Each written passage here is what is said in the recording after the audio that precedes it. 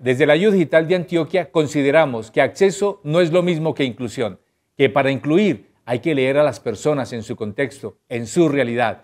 Por eso, esta modificación del decreto 1330 nos brinda una oportunidad única para adaptar la oferta académica a las particularidades de nuestro territorio, incluyendo las fortalezas y las necesidades de las comunidades. Este decreto busca agilizar procesos ante el Ministerio de Educación Nacional, otorgándonos mayor autonomía e impulsando la calidad académica mediante la autorregulación, la autoevaluación y el mejoramiento continuo.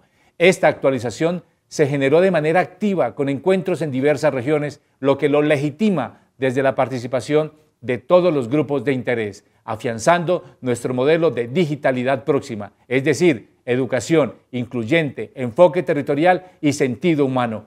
Juntos aprovecharemos esta oportunidad para seguir creciendo y contribuyendo al desarrollo regional. Somos Digitalidad Próxima, somos la ayuda digital de Antioquia. Colombia, potencia de la vida.